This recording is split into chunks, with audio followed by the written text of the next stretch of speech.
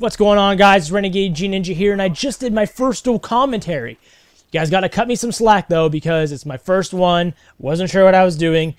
So, uh, yeah, give, give me a little bit of break there. There's some awkward moments, not sure what's going on, but I'm going to post it to my channel. Mm, I'm still going to post my normal three videos, but uh, I'll just post it as like a bonus video for you guys. That's not what this video is about. This video is about Black Ops, my Black Ops 2 wish list, but I just wanted to tell you about that. And uh, he sent me a message, and I was like, he's like, when do you want to do a dual commentary? And I was like, well, I can, do it in like a, an hour and a half. Uh, and he was like, okay. So I went to the Y. Uh, I came back, choked on a protein drink, put on a headset, and did a dual com first try, like first first take or whatever. So it is what it is. First take dual com. So uh, yeah, cut me a break on that. Let's get into the Black Ops 2 wish list. All right, this is going to be a whole in-depth series. So uh, stay tuned. This time I just want to talk about the weapons, all right? And uh, as I pull out this AUG, I like the AUG, by the way. I think it's a cool weapon, but um, rocking flak jacket so the RC car can't touch me. Get out of here, RC car. Anyway, um, so the weapons.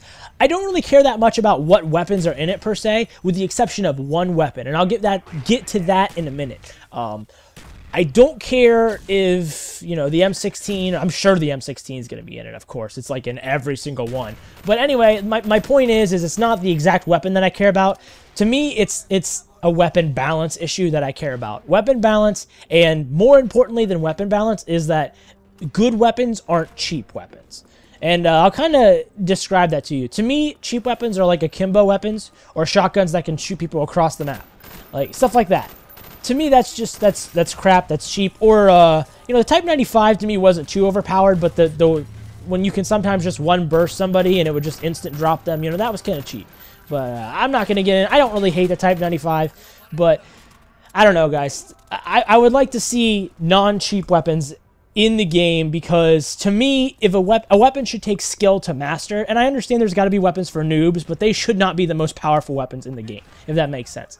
Um, and that brings me to my one weapon that I really want to see in the game is the AK-47. And now this is not just the normal AK, any AK-47. I, I, it's not any AK-47 that I want. It's the AK-47 that was in Black Ops 1 or the one that was in Modern Warfare 1. Now, they're pretty similar. Um, of course, the weapon damage and stuff is different for the games, but the whole idea of it.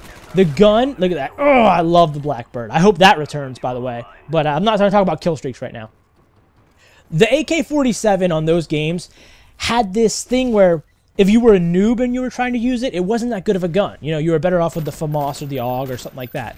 But if you could master the recoil on that gun, it was like a laser gun and it was fully auto and it was just so sexy. I don't know, just something about it. It might not have been the best gun in the game, but it was my favorite. And I don't care if it's the best gun in the new game. As long as it's just like this gun, I'll use it because I love this gun.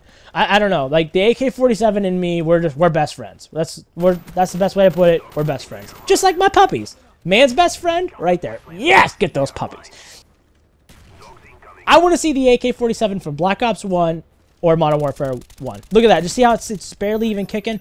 And it, it's kicking and it's recoiling, but all my time that I've played in the game, I've learned how to keep it on, uh, I don't know, to master the recoil. That's the best way to describe it. You learn to master the recoil. Sometimes it kicks off to the right, sometimes it kicks off to the left, sometimes it kicks here or there, but usually if you get learn if you learn, if you get learned, yeah, if you get learned how to do it, you can master that recoil. Anyway, enough about the AK-47 and how it and I are going to have a love child. Let's talk about other guns. Let's talk about the redheaded stepchild that I like to slap around. Akimbo weapons. Akimbo FNGs or FMGs or whatever the heck they're called.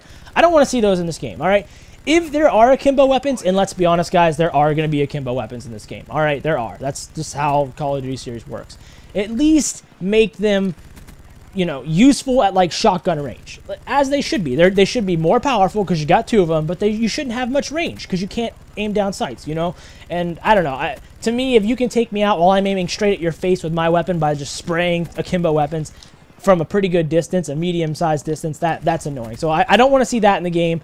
Um, I do want to see more ammo though, and uh, in this game, I don't know if you know, Black Ops 2, they had a double, a dual mag was giving you more ammo, whereas the other ones, an extended mag gave you more ammo, and I would like to see the extended mag give you more ammo instead of the dual mag. The reason is, and it probably won't be like this, but the reason is, is because the dual mag, you don't always, like, you don't always know when your when your quick reload's coming. So it puts like a luck factor in it instead of just like you know, extended mags, you can, you know exactly when you need to reload. You know, here, right here, I'm running out of weapons. Well, actually, I didn't run fully out of ammo, but I just feel like I always have to run dual mags because I need the extra ammo, and I'd rather have extended mags with the extra ammo. I don't know.